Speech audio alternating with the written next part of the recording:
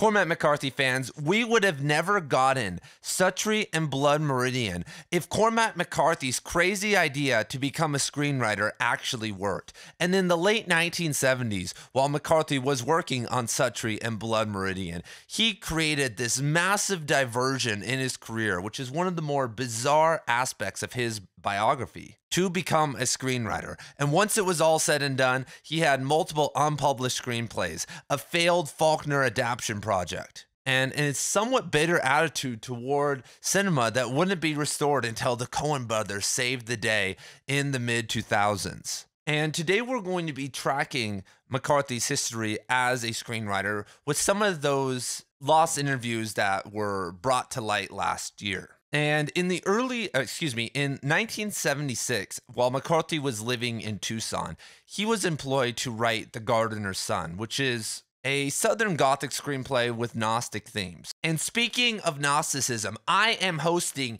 free daily discussions on Cormac McCarthy on my Cormac McCarthy Substack now, everybody, because I am here to take out the dying Cormac McCarthy subreddit. I want engaging conversations on the deepest aspects of Cormac McCarthy's writing, philosophy, biography, whatever. And not photos of people's book collections and random questions about blood, uh, about Judge Holden being Lucifer. And so at 6 a.m. every day, I'm going to be posting a free discussion, and today's topic is Judge Holden, rambling seducer or prophet. And I would love to see you guys over there because the medium is the message, and using a platform that isn't Reddit or even YouTube will create more engaging responses and ideas. It'll be easier to read and post. And this is my way of hopefully reviving a lot of of the independent scholarship I know is out there because so many of you guys are smarter than any PhD out there. You guys are way, way, way no, excuse me, know way more about Cormac McCarthy than I do. So I'd love to see you guys over there. And once again, they'll be being posted if you don't, if you're not interested in today's topic at 6 a.m. Pacific time.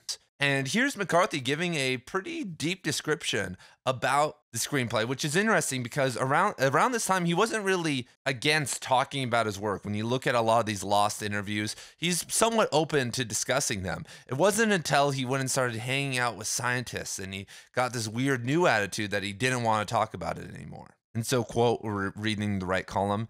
The McEvoys, the poor family whose son Robert killed the mill owner Gregg, were Irish Catholics living in a southern town like my family was, McCarthy said.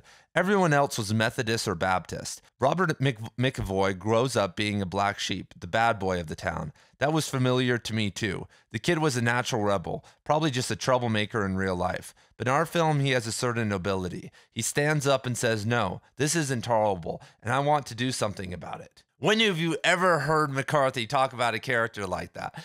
And talk about himself in relation to a character, basing a character off of his own personal life. And that's somewhat of the core of The Gardener's Son. And I have a version of The Gardener's Son movie. Uh, I have The Gardener's Son movie on my channel if you guys want to go check it out. Uh, some light spoilers here. Kind of the main plot is that there's this mill in the town and it's exploiting the workers as, as always and one of the mill owners kind of gets a little bit touchy, a little bit weird with one of the multi generational family mill workers' young daughter. And so the brother kills the mill owner, and there's a trial, and all this stuff happens, and gives an opportunity for McCarthy to kind of philosophize. But what's interesting about this was that McCarthy didn't just get commissioned to come and do this because, like I said, McCarthy at this time had been living in Tucson for years at this point. And so he flies back to Tennessee and is intimately working with the production of the movie, including casting extras and being there for the entire thing, as we're about to hear McCarthy say. And we're at the top right now. Quote Richard Pearce, director of the film, and the person who asked McCarthy to write it, said McCarthy was an intimate was as intimately involved in the project as a writer can be. When I was casting bits and extras, he came along. We saw over a thousand people throughout the state of South Carolina, and he came to every session. For his part, McCarthy admitted he, quote, wanted to see what films were all about. It's backbreaking work on location for 30 days, and the last week we were working 16 to 18 hours a day. You've got to be some kind of weirdo to think that's that it's fun, but it sure kept my interest up. And and writers are basically pretty lazy people. And just a quick aside, if you look at the top of the, of the screen again, McCarthy actually talks about writing somewhat candidly. Quote, I don't know why I started writing, he said laconically. I don't know why anybody does it. Maybe they are bored or failures at something else. Look at Spiro Agnew. He's now a novelist. Nevertheless, McCarthy said life could have been grimmer. I've had fellowship and, and, scholarships to help me eke out a living as a writer. I find when I'm really comfortable and have a little money, I tend to relax too much. Whereas when my feet are in the fire, I tend to get up early and go to work. So it seems like McCarthy likes to work in that form of scarcity, kind of that fear polarization when it comes to making money and getting his art done, like the starving artist trope. But it's interesting that he was on location for 30 days for filming, but also did all the uh, scouting for the film locations and for all the actors also. And McCarthy sensed that this was a major break for him because once he gets home from this project, once this endeavor is over, uh, the year after, he starts writing multiple drafts of a screenplay called Cities of the Plain that wouldn't find light until about 15 years later with All the Pretty Horses. And we know now that he did try to get this published, did try to get this moving, but the Gardener's Son was a straight to television movie. It did win, I think, an Emmy. It did do all right, and people seemed to like it and give it good reviews back in the day. But not enough for McCarthy, who once again is living in Tucson slash El Paso, sometimes being back in Tennessee at the time. He's not living in Hollywood. He's not walking the walk and like really trying to make those connections. But wait, there's more. He actually did because a couple years later in 1980, after his failed Cities of the Plain screenplay, McCarthy wanted to adapt As I Lay Dying by William Faulkner. And he says, quote, movies are often memorable for a few scenes. Actually, let me read you guys a whole quote. It's at the bottom. This is one of Faulkner's books that I would think I think would lend itself greatly to film, says McCarthy. Movies are often memorable for a few scenes, and I believe As I Lay Dying would have a great cinematic appeal. And so McCarthy starts writing a screenplay of As I Lay Dying, which we do not have. That is gone the way of the dodo bird, unfortunately. And McCarthy was taking this project seriously because he employed and was working with a businessman named Frank Hare, who was somewhat funding the film, like trying to get it off the ground with McCarthy. So here's McCarthy with uh, somehow he finds a funder aka a uh, producer. And Richard Pearce, who directed The Gardener's Son, was going to do it with McCarthy once again. And here's actually an interesting photo of McCarthy in this article that's talking about this there on the left, which is a ridiculous photo. But to get this movie off the ground, they needed 1.25 million, which back in 1980 would be about 5 million today. And quote, the plans for the movie include a 1.25 million budget to begin production in March of 81 if money becomes available. As the film is planned now, it will be a movie for television, possibly released to theaters later on, says McCarthy. I can't imagine not being able to sell this movie in Kentucky, says Hare. It's a really prestigious project that would be perfectly filmed in eastern Kentucky. It's strictly a blue chip project. Unlike the case of major film companies, financing for independent projects is often hard to secure. Steel, a movie filmed entirely in Lexington, now showing at Lexington theaters, was an independently produced movie in which its star Lee Majors invested heavily. And so, unfortunately, the movie never came out. And even more unfortunately, goddamn James, sorry, James is in my way. Goddamn James Franco was made an adaptation in 2013, which was an absolute failure. His adaptation of As I Lay Dying, a book I love, failure. Child of God sucked. Uh, Zeroville by Steve Erickson, absolute crap. The Sound and the Fury, crap. I mean, he has done. I mean, he is the only person. Well, there are a lot of people who have been canceled. I've not had a problem with. But when I heard that he was le- he was retiring and taking time away, I was like, take take a couple decades, please. And so what's interesting about McCarthy's screenplays is that it's a whole other medium, right? Like you think you can write a novel, you can do screenplays, or if you do screenplays, you can write a novel or do this and that. And when you look at the whole progression, because I've been to the archive and read the original No Country for uh, not the you know, well, I've read the original No Country for Old Men, the original Cities of the Plains, Whales and Men, and there's something missing in a lot of them. Even uh, the Sunset Limited, which I love, and the Stonemason. Uh, when we look at the whole catalog, it doesn't give McCarthy the space he needs. McCarthy never wrote short stories. Like, why didn't we see most authors out there have more than two short stories? And he stopped in college. Even big authors like Don DeLillo and Haruki Murakami, they still work in the short story field every once in a while. But as I've kind of talked about before, McCarthy relies on nature so much. And when we look at Whales and Men, that's what he tried to integrate. So, like Whales and Men, about these uh, scientists who are trying to save the whales and do all this stuff. And a lot of it's based on nature and they're reflecting on nature. But when you're writing a screenplay, you have a lot of constraints because one of McCarthy's strengths is like his rants. We see these characters like telling these long stories, like it's very apparent in The Crossing, but even books like Outer Dark or The Orchard Keeper, every single McCarthy novel has these characters going on these kind of random stories, but are really symbolic in the long run. And these are reinforced by the nature scenes and the mood and the beautiful writing.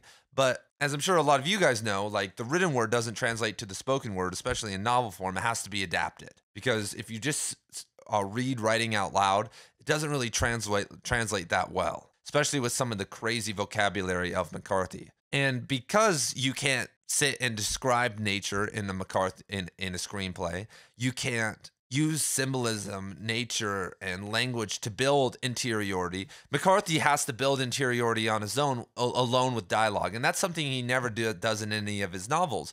Maybe The Passenger and Stella Maris is use interiority. So he's here as a screenwriter and has to make characters relatable when not that many of his characters are very relatable. To us, you know, uh, distraught men who are lost in the world, trying to seek knowledge, gnosis, and love, and all these other things. They are our favorite characters. But to the average person who's going to sit down and watch a movie, uh, a lot of these characters are not very appealable. And so, in for instance, the Cities of the plain screenplay, John Grady Cole and Billy Parham, like when when I read through that, they have they had none of that same energy. I was projecting everything I knew from the first two novels on them while reading the screenplay. It was more just like kind of a classic tragedy. And that's all you can really do. But then when we see he has the opportunity to expand in All the Pretty Horses and The Crossing, they become masterpieces. We fall in love with these characters because of those other elements that give them a sense of, of purpose and meaning. So I think Whales and Men was abandoned because it was like The Passenger. McCarthy, in his old age, wanted to publish The Passenger because they had been working on it for 60 years, and I honestly think he should have. And he refined a lot of the elements that were, or excuse me, that could have made it not great. But in Whales and Men, it was too ranty. It was too scientific. You know, that's kind of a critique of Stella Maris. There wasn't really this uh, major plot going on that helped carry the story. And that's already a big no no. Look at the response to The Passenger and Stella Maris and how people didn't like it in a novel. But that's, you know, a couple hundred pages, that's a no no. But if you put that, try to put that into screenplay, it's really not going to work. So when I look at McCarthy's first half of his screenwriting career, from The Gardener's Son to Whales and Men, I see someone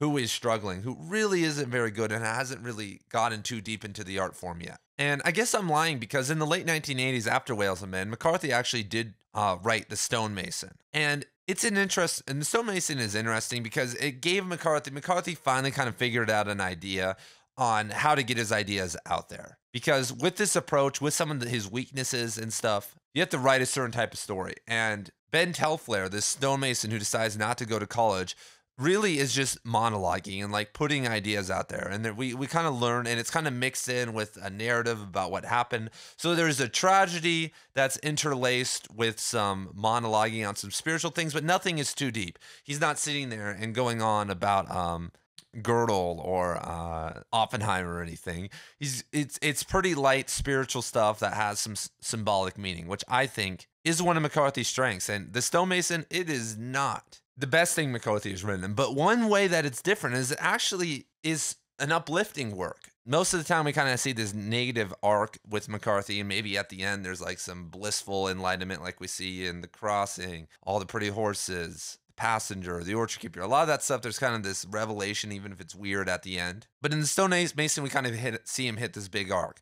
And so after he finishes the Stonemason, McCarthy goes and starts working on All the Pretty Horses, pulling back from a screenplay. So we could say that McCarthy, once he started working on screenplays in 77, was intimately connected to them for the rest of his life. And so after he blows up with all of his fame and all the pretty horses, eventually he starts writing no, the No Country for Old Men screenplay, which if I will say to you guys now, is much different. If McCar- if the Coen brothers used that screenplay, because we had that screenplay and he turned it into a novel eventually, much like the Border trilogy, but it would not have won an Academy Award. McCarthy's screenplay is vastly different than what Scott Myers did with the adapted screenplay. And once again, it's because some of the characterization, the dialogue, a lot of the stuff with McCarthy is very wonky and wasn't going to be is, isn't going to be, be received that well with modern audiences.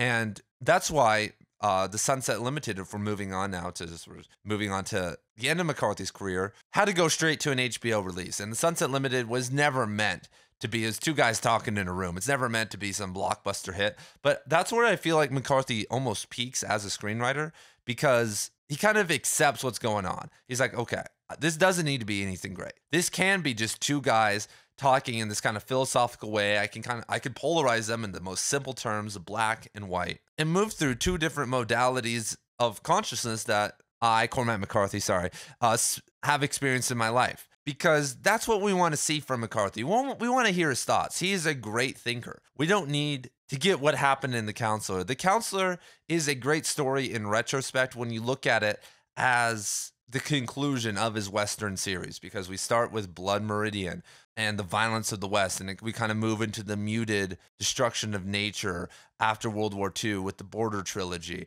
and then into the new rising violence with No Country for Old Men, and then finally climaxing with uh, the counselor with the cartel violence and everything. It goes into in a very beautiful and linear, linear, linear uh, excuse me, linear progressive arc. But even with the cast of great actors and as someone generally likes films like that, it, there was something missing there. I thought it was an okay movie. I enjoy I enjoyed watching it, but to the standard I was holding McCarthy, especially with a film like this, it wasn't that great. And now we are here in the present moment where McCarthy apparently worked on the screenplay of Blood Meridian and got a lot of it done and had been working on it since 2013. So when we see the Blood Meridian movie, a lot of it was going to be pushed by McCarthy, which looking at back at the history, it may be a little bit problematic because as we've talked about a bunch on this channel before, to make the Blood Meridian movie work, it's going to have to be a little bit deeper than just the violence, than just group of scalp hunters goes down there. There's violence. There's these horrific scenes. It's like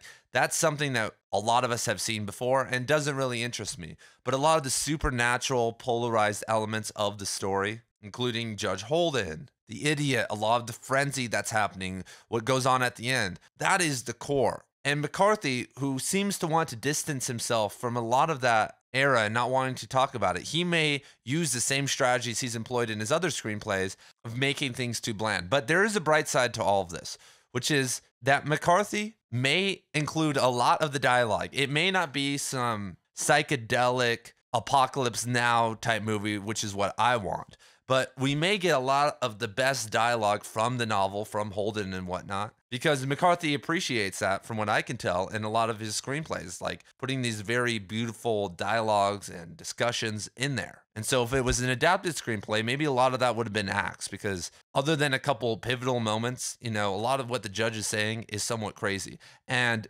today's topic, as I was talking about earlier, is Judge Holden a seducer or a prophet? And you guys can talk about it for free on the cor- uh, on the Write Conscious Substack. I'm going to be having daily posts. We're taking out the Cormac McCarthy subreddit because I can't handle AI art, people posting their book, book collection, random questions that no one cares about, and the snobbery that's going on over there. So we're, ta- we're, we're taking it back, and I'd love to see you guys over there. Peace.